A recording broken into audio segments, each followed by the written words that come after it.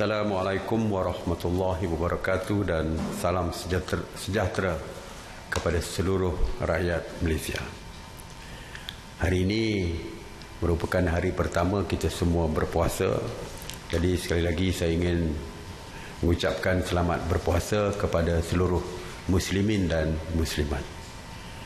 Walaupun berpuasa Jabatan Kuasa Khas Menteri-Menteri mengadakan mesyuarat seperti biasa bermula pukul 9 pagi. Daripada laporan yang diberikan oleh PDRM, semalam mereka telah mengadakan sebanyak 827 sekatan jalan raya di seluruh negara dan melakukan pemeriksaan ke atas 627 ribu 494 kenderaan. Ada kenaikan yang begitu tinggi berbanding dengan sebelumnya. Saya percaya kita dilaporkan bahawa ianya mungkin berpunca daripada ramainya rakyat kita yang keluar untuk membeli berbelanja untuk hari pertama Ramadan hari ini. Sebanyak 42,941 pemeriksaan mengejut telah diadakan di seluruh negara dengan sebanyak 6,700 premis telah diperiksa. PDRM telah menangkap seramai 550 individu berbanding dengan 763 individu pada hari sebelumnya kerana engkar PKP yang merangkumi 480 individu yang direman dan 70 individu yang diberikan jaminan polis. Hari ini juga, hari semalam juga terdapat penurunan dari segi jumlah tangkapan. Jadi seperti yang saya sebutkan, kita berharap supaya jumlah tangkapan ini akan terus menurun dan yang menggambarkan kadar pematuhan rakyat terhadap peraturan PKP ini semakin meningkat.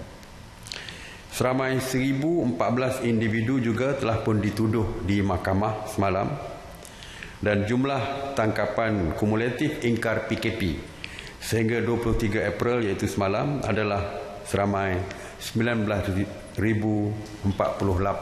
individu. Mengenai berita palsu, sehingga semalam PDRM dan SKMM telah membuka 238 kertas siasatan berikutan dengan berita palsu COVID-19 berbanding 237 kertas siasatan hari sebelumnya. Daripada jumlah tersebut, sebanyak 170 masih di dalam siasatan manakala 24 kes didakwa di mahkamah dan 13 telah pun mengaku salah dan juga sebelas telah pun diberikan notis amaran. Orang ramai boleh menyemak kesahihan berita melalui portal sebenarnya .my. Sekali lagi, kerajaan ingin memberikan peringatan untuk berhati-hati sebelum menyebarkan sebarang kandungan yang diragui kesahihannya jika tidak pasti, jangan kongsi. Kerana tindakan juga boleh diambil kepada penyebar-penyebar yang menerima berita dan menyebarkan juga boleh diambil tindakan. Dan seperti saya sebutkan bahawa PDRM dan SKMM akan bertindak tegas terhadap mereka yang menyebarkan berita palsu. Mengenai pusat kuarantin sehingga semalam 204 pusat kuarantin telah pun dibuka dan beroperasi berbanding dengan 201 pada hari sebelumnya yang mana 16,186 individu sedang menjalani proses kuarantin wajib. Semalam seramai 1426 rakyat Malaysia telah pulang ke tanah air dan telah dikuarantin secara wajib. Seramai 18,053 rakyat Malaysia yang pulang dari luar negara telah pun dikuarantin secara wajib sejak 3 April 2020. Manakala sejak 17 April 5,698 individu telah pun selesai menjalani tempoh kuarantin wajib dan dibenarkan pulang ke rumah masing-masing. Mengenai ops sanitasi awam di bawah kawal selia KPKT sejak 30 Mac 2020 mereka telah melakukan 3844 operasi sanitasi awam di 78 zon termasuk di 13 zon merah. Semalam sebanyak 259 operasi sanitasi awam yang meliputi 67 zon merah dan kuning di 14 negeri termasuk 40 operasi di Johor dan 31 operasi di Perak. Operasi sanitasi semalam merangkumi 172 bangunan kerajaan, 126 tempat awam, 106 pusat perniagaan, 157 kawasan perumahan termasuk projek perumahan rakyat PPR dan 24 pasaraya. Semalam saya ingin maklumkan penguatkuasa Kementerian Perdagangan Dalam Negeri dan Hal Ehwal Pengguna KPDN HEP telah membuat pemantauan harian 25 jenis bekalan di 900 70 pemeriksaan premis perniagaan termasuk 753 peruncit, 168 pemborong dan 31 pengilang. Secara keseluruhannya, bekalan barang keperluan mencukupi dan mampu menampung keperluan dalam negara yang berterusan dan mudah diperolehi. Kementerian Pertanian dan Industri Makanan MOA juga memberikan jaminan barang makanan basah seperti sayur-sayuran, daging, ayam, telur juga lebih daripada mencukupi.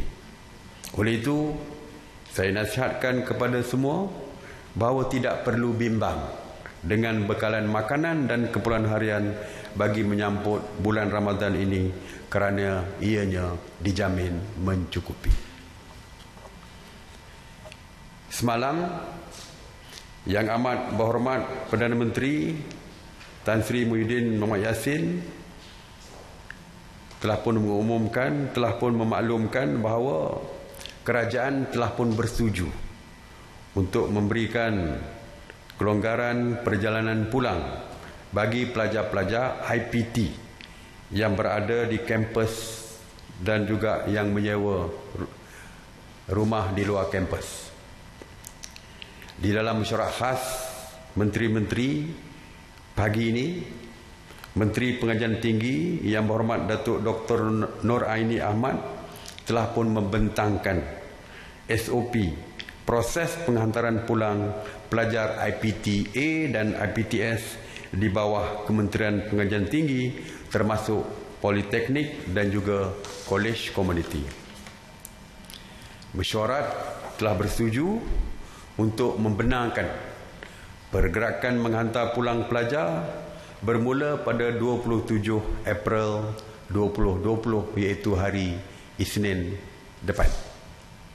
Waktu perjalanan dihadkan dari jam 9 malam hingga 9 pagi bagi mengelakkan kesesakan dan pergerakan yang besar di waktu siang.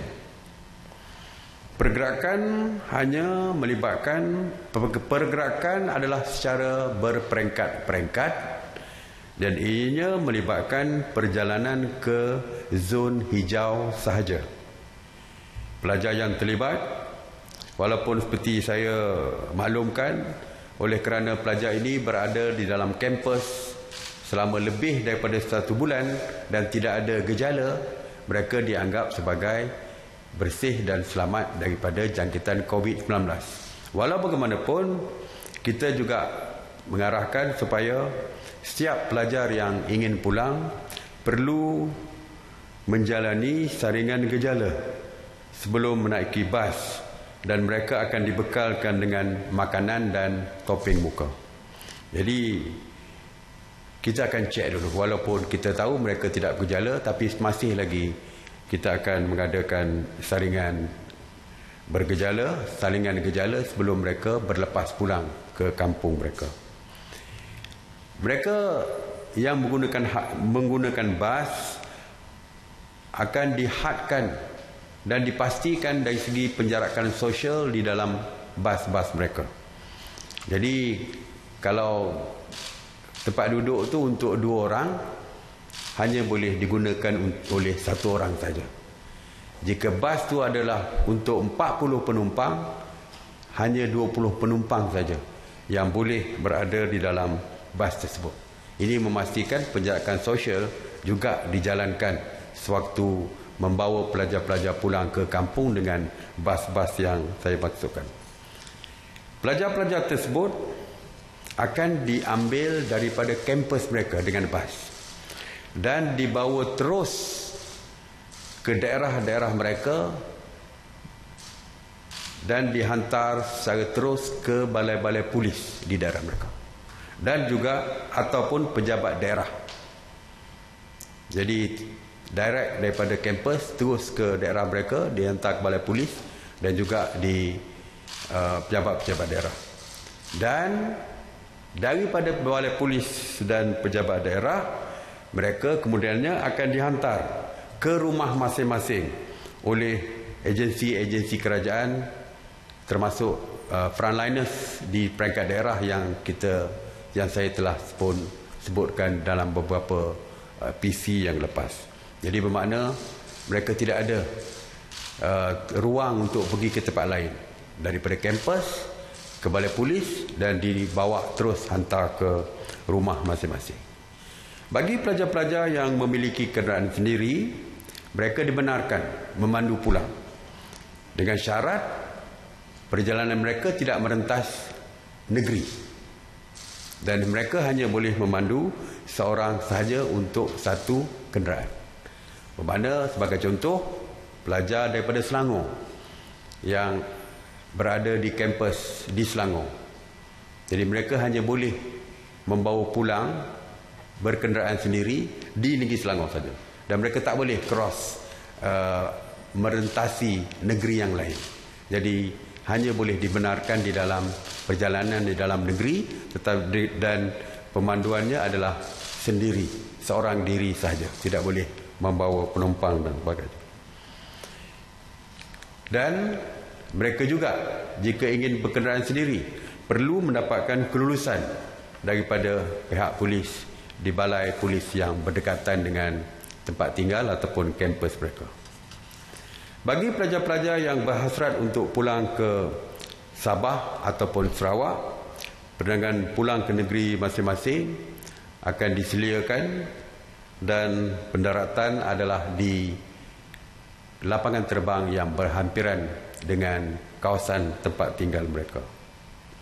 Dan seperti yang telah pun diputuskan oleh kerajaan negeri Sarawak dan Sabah mana-mana penumpang yang datang daripada semenanjung sekalipun mereka akan di kuarantin. Jadi termasuklah pelajar-pelajar yang dihantar pulang juga akan di kuarantin wajib selama 14 hari. Unless kecuali kerajaan mereka menukarkan uh, SOP yang telah pun mereka tetapkan dulu. Proses pengantaran ini akan melibatkan seramai sebanyak 85% daripada jumlah keseluruhan pelajar dan iaitu sekitar 53,000 pelajar. Maknanya bukan semua pelajar akan pulang. Ada yang tidak berminat untuk pulang. Kerana mungkin mereka akan menduduki peperiksaan. Ada di kalangan mereka kerana mereka belajar secara online di universiti sekarang. Di kampung mereka mungkin tidak ada uh, internet dan sebagainya mereka tidak boleh mengulang kaji dan belajar secara online. Jadi mereka berminat untuk terus tinggal di kampus. Terdapat 15% pelajar yang memilih untuk kekal tinggal di kampus ataupun kolej masing-masing. Dan bagi mereka yang terus tinggal di kampus kita akan menanggung mereka seperti biasa. Dari segi makan minum dan sebagainya akan terus ditanggung oleh kerajaan.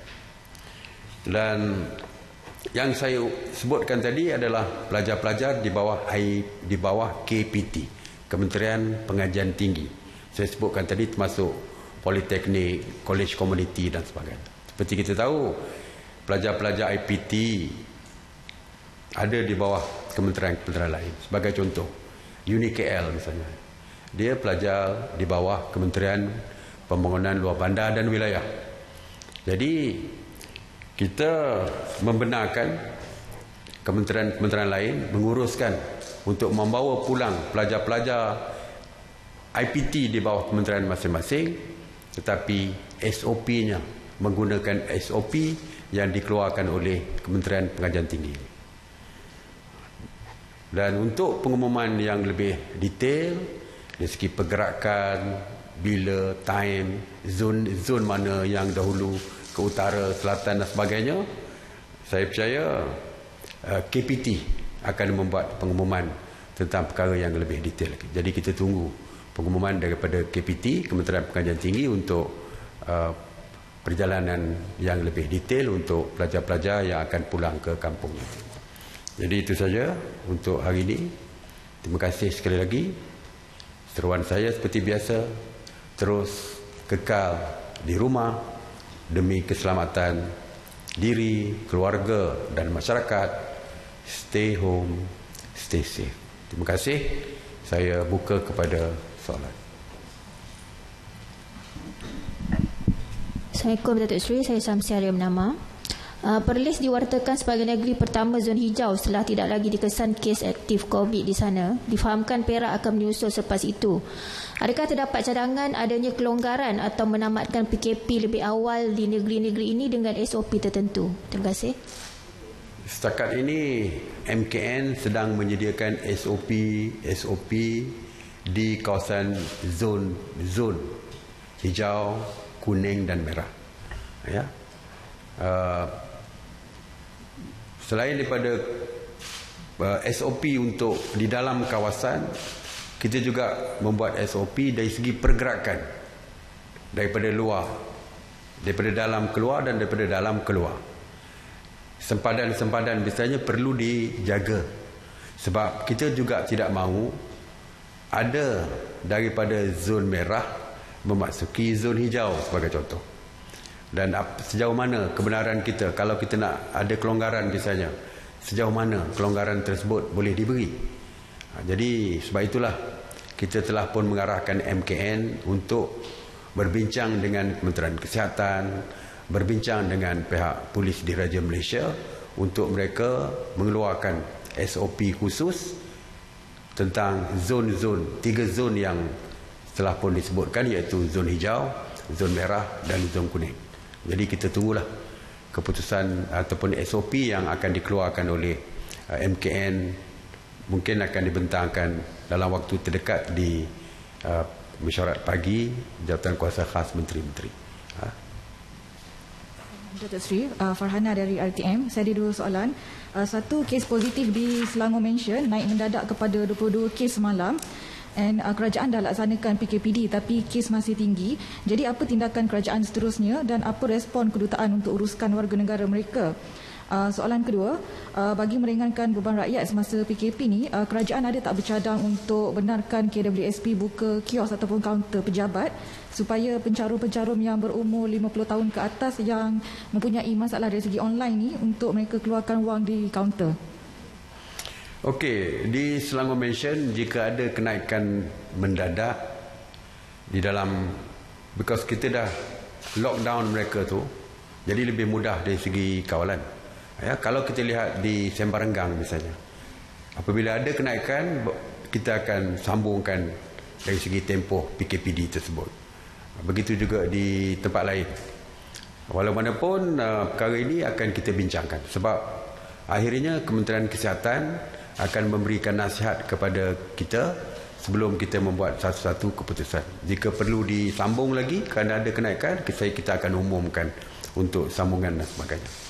Dari segi dengan kedutaan luar, berkenaan berkaitan dengan rakyat mereka yang berada di situ, Kementerian Luar sentiasa berhubung dengan kedutaan-kedutaan asing di sini bagi memastikan kebajikan rakyat mereka terjaga.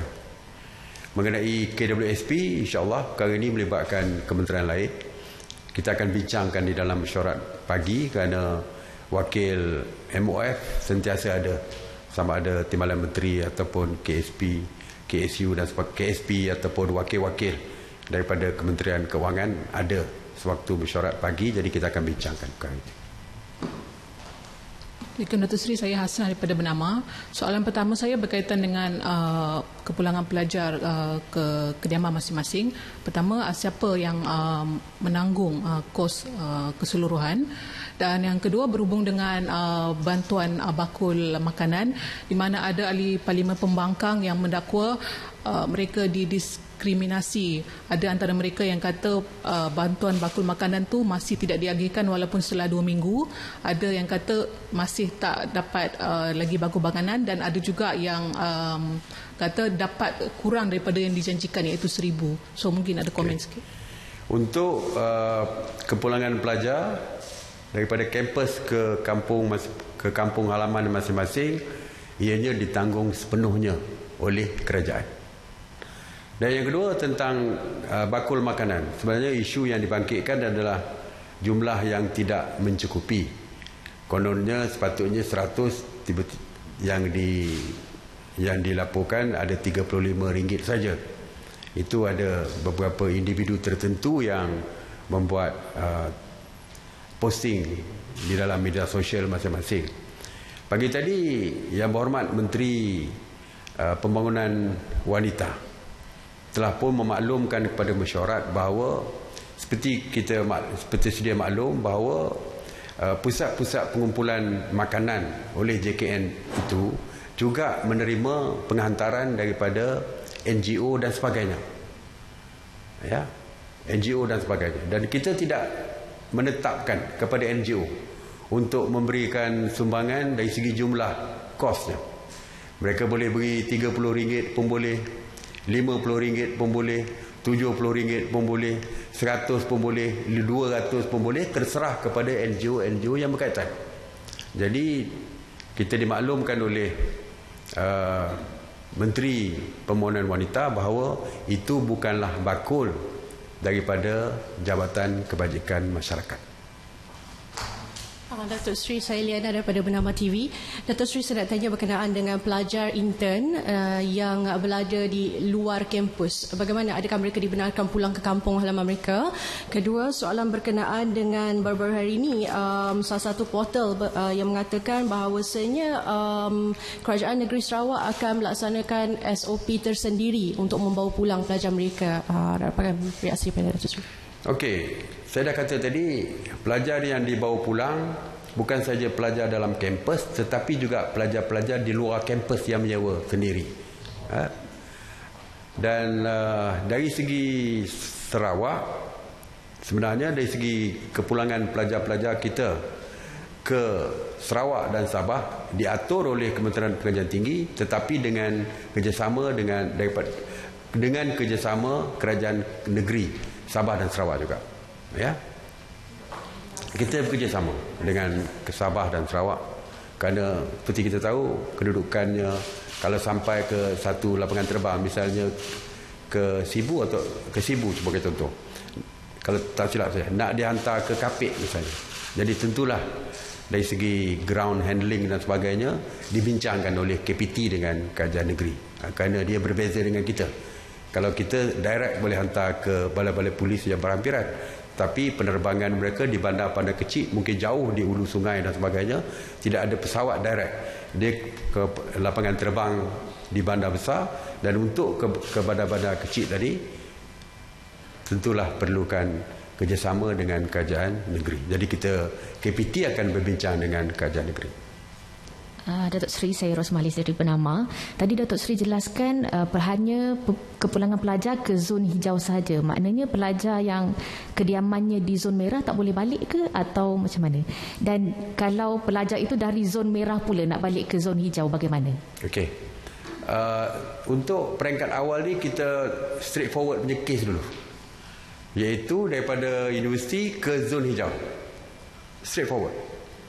Tetapi yang daripada universiti nak balik ke zon merah, ini kita tidak benarkan. Daripada zon merah, dia menyewa rumah di dalam kawasan zon merah. Nak balik ke zon hijau, juga kita tidak benarkan lagi peringkat awal ini. Oleh mana pun kita sedang berbincang.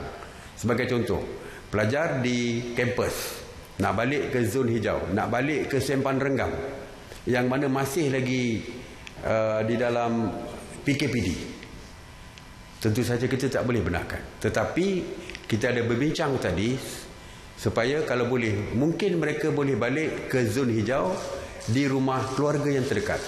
Mungkin abang rumah abang mereka di zon hijau. Jadi dia tak balik di rumah keluarga dia kerana zon merah tapi mereka dibenarkan balik ke zon hijau di rumah abang kakak ataupun sesiapa saja kawan dan sebagainya. Jadi mereka boleh buat pilihan. Itu juga uh, kemungkinan-kemungkinan yang berlaku untuk kita lebih mempermudahkan supaya kita boleh benarkan mereka pulang. Okey? Terima kasih. Assalamualaikum warahmatullahi wabarakatuh.